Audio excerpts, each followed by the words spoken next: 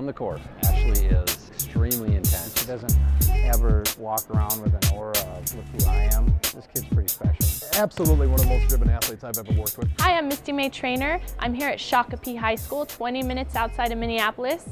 She doesn't know it yet, but I'm here to surprise Ashley Wittman with the Gatorade National Volleyball Player of the Year trophy. Take your articles out, go with someone right next to you. So now when watch with Jim, when Jim gives you the signal, you're cruising in. Go ahead, Jim. Um, I my Hi, my name is Misty May Treanor, and I'm an Olympic volleyball player, and I came to present the Gatorade National Volleyball Player of the Year trophy to Ashley Wittman.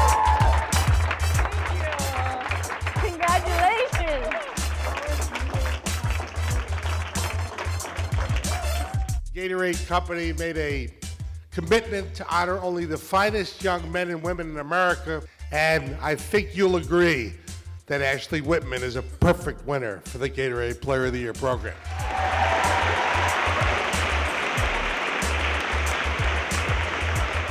We want our sport to grow. We want to, you know, see young girls take our take our place when we're done playing. And this gives them the opportunity. It also recognizes both their accomplishments on the court as well as off the court. I don't want to be known as just like a good volleyball player. I want to be known as a good student. And so I'm really good at like managing my time, being responsible, getting all my homework done, and then family and going to parties and hanging out with friends comes after that. And I know teachers love her because she just she does like um, they're saying she gives 100% in everything she does, including her academics. One of the most modest girls I have ever met. Always gives her teammates credit, gives her family credit for sure. Well, Ashley increased her vertical by eight inches.